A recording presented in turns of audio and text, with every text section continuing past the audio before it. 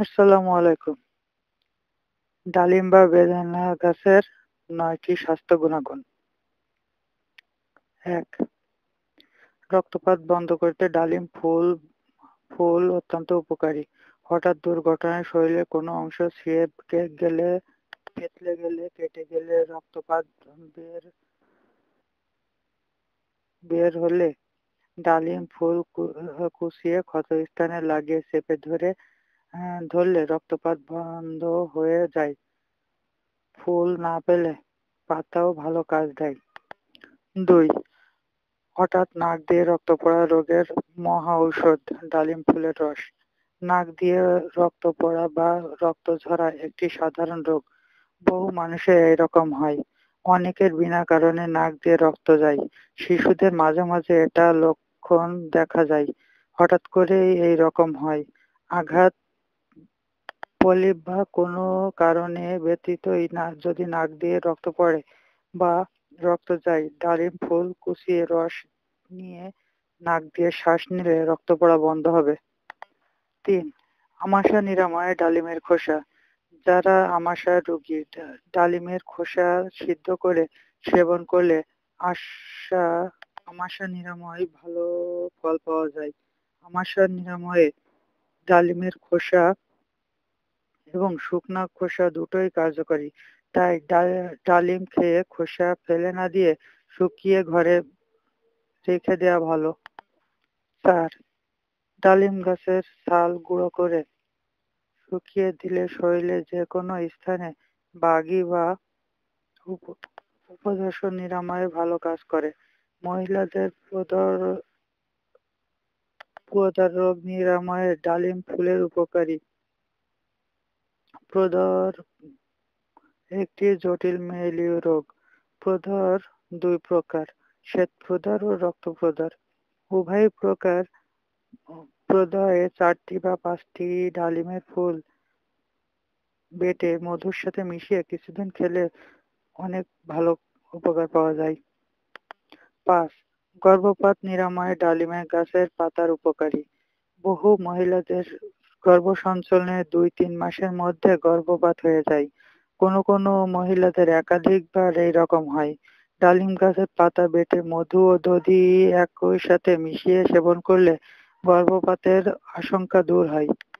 ছয়, ডালিম গাছের শিকড় কৃমিনাশক। কৃমির সমস্যা আমাদের জাতীয় সমস্যা। কৃমির কারণে শিশু থেকে বুড়ো পর্যন্ত সবাই নানা বিধি জটিলতায় ভোগে। ডালিম গাছের মূল বা শিকড় খেলে ছাল নিয়ে চুন, চূর্ণ করে চুনের পানির সাথে মিশিয়ে সেবন করলে কৃমি নাশ হয়। বয়স ভেদে এক থেকে তিন গ্রাম পরিমাণ নির্ধারণ করতে হবে। শিশুদের পেটে ব্যথার রোগ নিরাময়ে, ডালিম গাছের ছাল। শিশুরা বিভিন্ন প্রকার পেটের পীড়ায় ভোগে। এসব শিশু পেট বড় হওয়া সহ বিভিন্ন প্রকার পেটের পীড়ায় ভোগে। তাদেরকে জন্য ডালিম গাছের শিকড় থেকে ছাল নিয়ে গুঁড়ো করে মধুর সাথে মিশিয়ে সেবন করতে দিলে ভালো ফল পাওয়া যায়। বেদানা খোসা পাঁচটি উপকারী।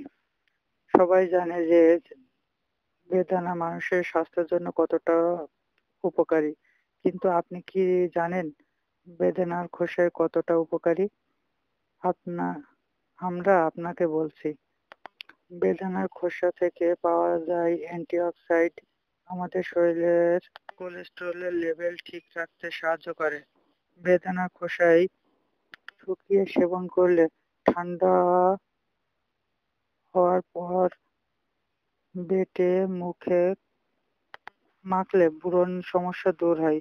বেদানার খোসায় গুঁড়িয়ে তার পাউডার বানিয়ে গোলাপ পানির সাথে মিশিয়ে মুখে মাখলে ত্বক উজ্জ্বল হয়।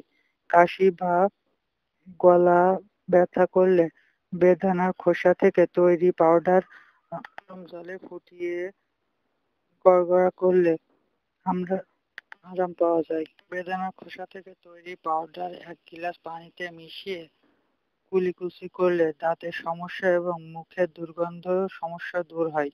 ডালিম বা বেদানার অপকারিতা। ডালিম গাছ, ফল, ফলের খোসা, পাতা থেকে শুরু করে শিকড় পর্যন্ত কোনোটাই ফেলানো নয়। আগাগোড়া মানুষের উপকারী।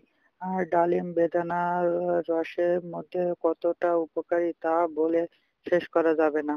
এই রকম অপকারিতা নেই।